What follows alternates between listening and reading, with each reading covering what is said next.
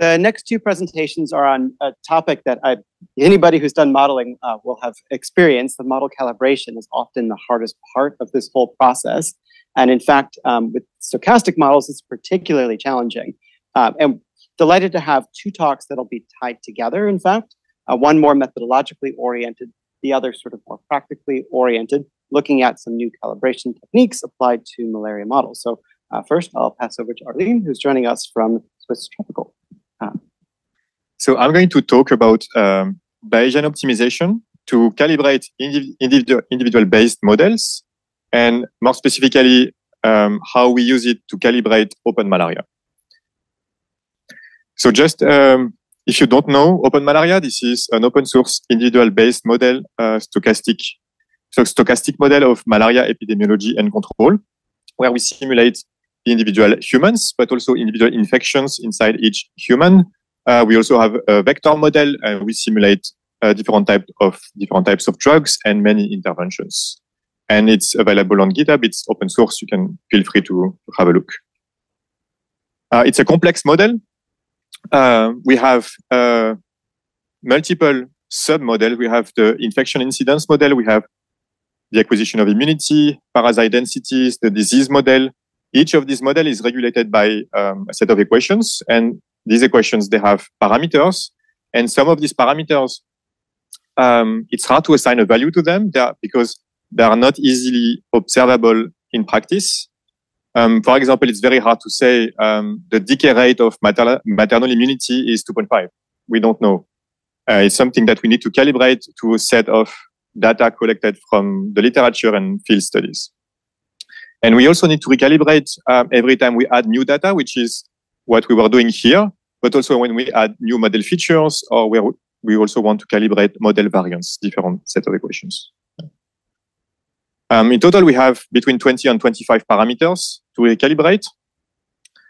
And to do this calibration, we need a way, given a set of parameters, um, to tell us how good a given set of parameters is. And to do this, we have this rather complicated function um, where basically we simulate many sites.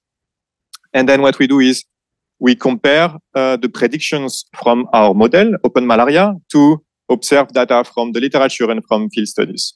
And we group these simulations um, by objectives. And we have one objective for prevalence, one for clinical incidence, for severe disease, parasite densities, and so on. In total, we have uh, 12 objectives. So we give a score this way um, by. So when we compare the observed uh, the predictions from the model to the observed data, we calculate the, typically the residuals uh, residual sum of square or the sum of log likelihood, likelihood, and this way we can assign a score to each of our objectives. Because we have 12 objectives, in the end we have uh, 12 scores, but we can also go one step further and compute the weighted sum of this objective, and we end up with just one value. And so we have this rather complicated function, but in the end, it's just a function. We have our 23 parameters and we have either 12 or one output. So if we take a, if we take a step back, what we want to do is actually just minimize this function to get the optimal set of parameters for our model. Now, the first and probably the biggest challenge is the curse of dimensionality. Uh, and to illustrate this, uh, let's say you have just one parameter, one dimension. Uh, to cover the entire space, you would like to do at least, let's say, um, 10 samples per dimension. Okay, so in 2D, uh, you would need to divide your 2D search space into 100 little squares and at least one sample square. In 3D, you would have, you would end up with 1,000 little cubes in your 3D search space. And with Open Malaria, we have 23 parameters so if we follow this logic, we would need to do more samples than there are stars in the observable universe, which is a lot. Realistically, on our HPC cluster, we can only do 10,000 samples maximum, which already takes a week or so, uh, which is clearly not enough. So to have a chance um, to minimize this function and to converge somewhere, we use Bayesian optimization, which essentially helps us reduce the number of samples that we have to do to converge. Um, so initially, I had a set of fancy slides to explain the whole process, but I thought it's easier to explain with a step-by-step example on a very simple function. So to illustrate this, I chose the Ackley one-dimensional function. It's only one dimension, but it's enough to understand all the mechanisms, which are the same um, for more dimensions. I was also showing initially the, the shape of this 1D function, but actually in practice, in real applications, we don't know the shape of the function. That's the whole point, because if we knew the shape of the function, we wouldn't, wouldn't need to optimize it. Um, okay. So the first step of the Bayesian optimization algorithm that we use uh, is to do uh, some initial samples just, just to start up the process. In this example, I'm doing the, just the minimum, which are the two samples you see in blue, um, which are completely random. The second step is to fit, is to fit the surrogate model. So I think most people who are doing Bayesian optimization, they will use a Gaussian process. Um, so in this case, I fitted the Gaussian process to our observed data points, and we only have two. So of course, so far our Gaussian process is not very accurate, but nevertheless, we do get out of it a mean and variance across the entire space. And this is really good because we can use this Gaussian process as an emulator or as a proxy for our, our complicated loss function that I presented before the loss function that we have, it would take approximately 10 minutes to evaluate one data point in this search space on an HPC cluster. But with this emulator, even though it's not very accurate, we can explore the entire space in a few seconds. So that's why it, it's really valuable. Um, and then we use this Gaussian process to explore the space. And to do this, we have what we call an acquisition function, which leverages the Gaussian process for the exploration. And what it does is essentially it optimizes this emulated um, loss function and it will tell us where we want to explore the space. And it's a classic exploration versus exploitation dilemma. Essentially, is do we want to explore the search space where the mean, the predicted mean of the emulator is low, or do we want to explore the space where the, the uncertainty is high?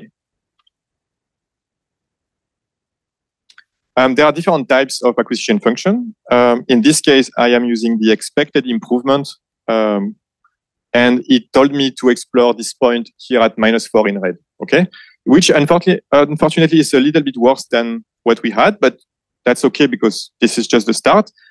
We can add. So we evaluate this point uh, on the cluster with the complex function. We now have three observed data points. And we can just iterate this whole process. So we can fit our Gaussian process again, but now we have three observed data points, so it improves the quality of the Gaussian process. We run the acquisition function. It tells us to explore this point here at uh, minus one point, one point something. And yeah, we iterate again and again and again. And I will skip a few iterations. But this is what we get after about 20 or 30 iterations. Um, so this is a very simple function, but we do find the minimum of the function after about 20 or 30 iteration. Um, and you can also see on the right, you see the, the real shape of the function because this is a toy function. So we know the shape of this function. And you see that the Gaussian process was able to capture the, the shape of that function. Even though that's not our goal, our goal is to find the minimum. But that was a 1D function. Okay. So let's increase the number of dimensions using the same toy function to five dimensions. And what happens is um, I cannot easily plot the five dimensional uh, function on the screen, but I'm showing instead the convergence of this process over 300 evaluations, which is more than significantly more than what I did just before. And basically what happens is there is no convergence because the space is already too large in five dimensions. So essentially what happens is the uncertainty is very high everywhere because the space is mostly unknown and the acquisition function only does exploration. It just keeps um, sampling where the uncertainty is high forever. So to counter this, we use what we call the trust region Bayesian optimization algorithm, also known as Turbo. It's a very simple algorithm. Uh, essentially how it works is if we fail to improve to find a better set of parameters three times in a row in this process, we cut the search space in half uh, around the best point we have so far. That's very simple. But this forces convergence. Um, And we do this multiple times if needed. Oops. Sorry. Yeah. Um, yeah. So using Turbo, we have warranted convergence, um, but we are also more likely to end up in a local minima. And this is also why we need to do a higher number of initial samples when we calibrate open malaria with Turbo. Because if we start with only two samples, there is a very high chance we will quickly um, start converging on a part of the space that we have explored and completely ignore a lot of the search space. So we need a lot more initial samples. Uh, but at least we have a convergence. And if we go back to this example in five dimension, on the left is this is without the turbo algorithm. On the right, this is with the turbo algorithm, and you see a clear convergence. And we actually reach the optimal point of the function. And we can do the same with open malaria with our 23 parameters. And this also converges nicely. Uh, the first 3000 samples you see on the left, they are the initial random samples. This is why they're all over the place. And then it quickly converges over 7,000 um, samples.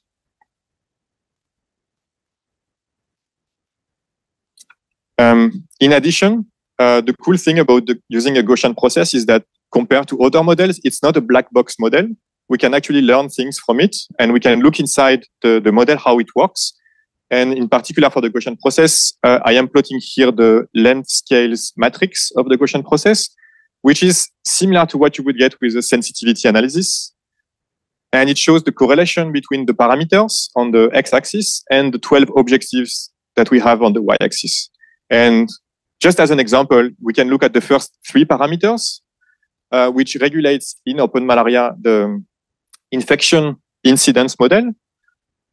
And you can see that there is a high correlation with all of the um, objectives related to prevalence and incidence, which makes a lot of sense. And this is what we expect um, from the model.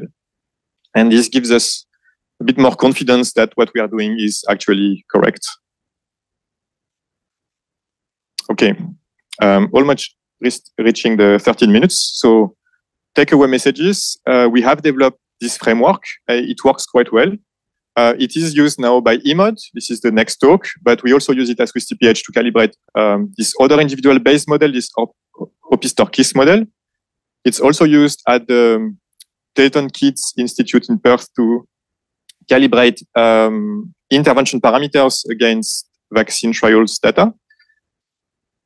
What I would like to say is um, the algorithm works really well, but now the new challenge is actually everything else around this, which is actually a lot. So it's not plug and play. It requires very high quality curated data. This is the most important thing so that we get a good calibration. But also the objectives must be uh, constrained enough. We need to have the, to define the search space and the range of every parameter really well.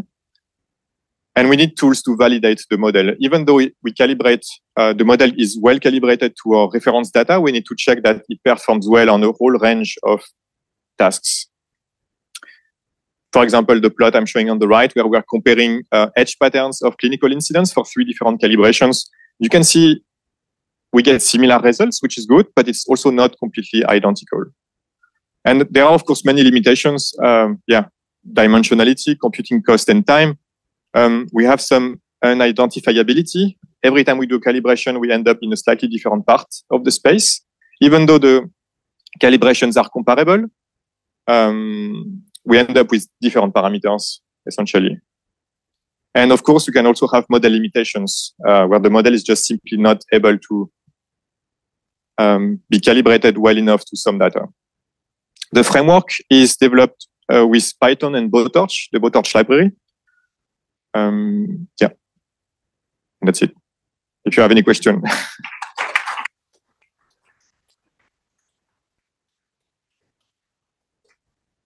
Maybe just um, while we load the next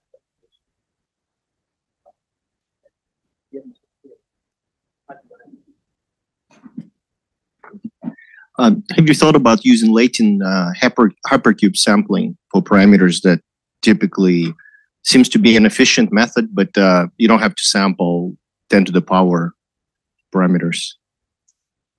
Yeah. I mean, we use this uh, for initial sampling to sample the whole um, hypercube initially. Um, I'm not sure what is your question then after that.